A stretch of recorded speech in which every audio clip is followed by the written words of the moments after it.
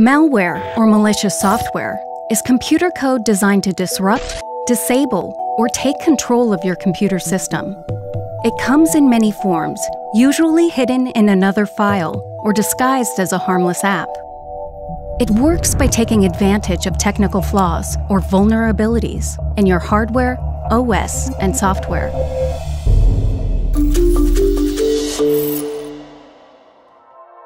Malware comes in many forms. Ransomware locks infected systems until the victim pays a ransom to unlock it.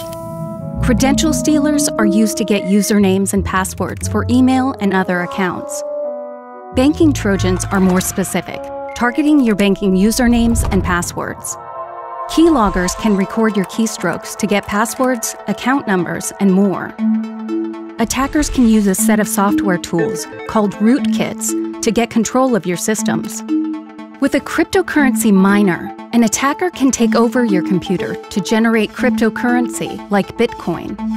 If you unwittingly install a botnet, your computer can become part of a network of infected systems used to send spam and launch large scale attacks.